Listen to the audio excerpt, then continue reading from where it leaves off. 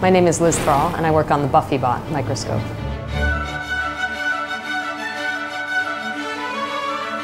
So I chose the BuffyBot name because microscopes in the lab had either been named after action heroes or robots, and I thought that the BuffyBot is actually both, so I thought that was a nice way to kind of bridge that.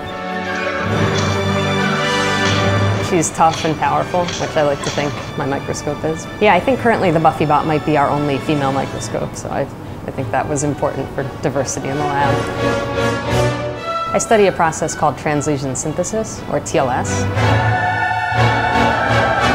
So basically, instead of trying to fix the DNA damage during replication, TLS lets the cell continue replication past the damage, and then all the other DNA repair processes in the cell can come in and try to fix it later.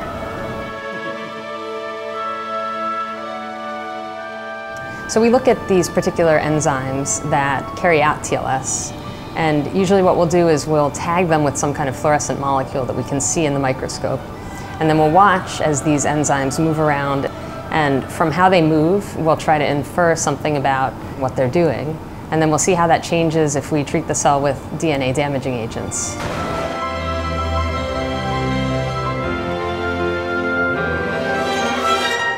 Well, so there are a number of reasons why uh, TLS is important. There are actually quite a few different enzymes that carry out TLS, both in bacteria and also in humans.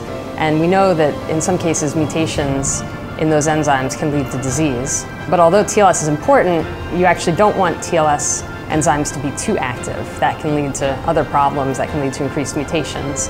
And in fact, it's been found that in some cancer cells, uh, TLS enzymes are highly upregulated, and that can lead to mutations and resistance to chemotherapy.